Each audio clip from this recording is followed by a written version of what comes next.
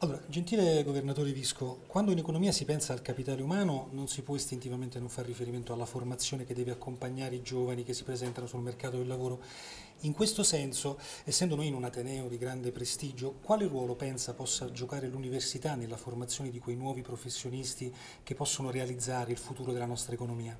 Beh, ovviamente un ruolo fondamentale, è un ruolo che riguarda non soltanto l'acquisizione di conoscenze da parte dei giovani e le conoscenze tradizionali sono da sostenere, non da sostituire, ma riguarda anche la capacità di mettere insieme conoscenze diverse. E questa è la sfida che ha l'università, quella di eh, in qualche modo formare le competenze necessarie per lavorare, per vivere, per progredire in questo nuovo secolo.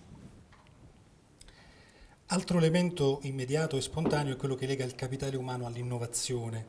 Da tempo ormai si afferma, a ragion veduta, che un paese come l'Italia può e potrà competere a livello internazionale solo se riuscirà a puntare appunto sull'innovazione tanto di prodotto che di processo.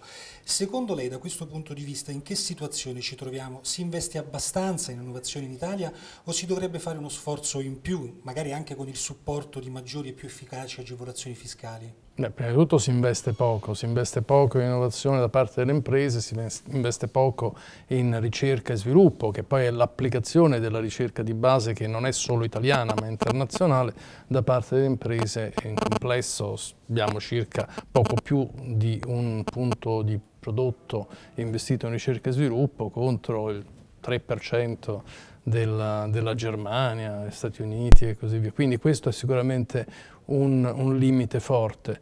E un po' dipende anche dalla natura del nostro sistema produttivo che va eh, cambiato e quindi se la componente di eh, incentivazione fiscale aiuta andare in quella direzione facendo crescere le imprese e eh, aiutando anche lo spostamento verso i settori che sono in questo momento quelli sui quali dobbiamo eh, più eh, puntare, sicuramente questo eh, aiuta.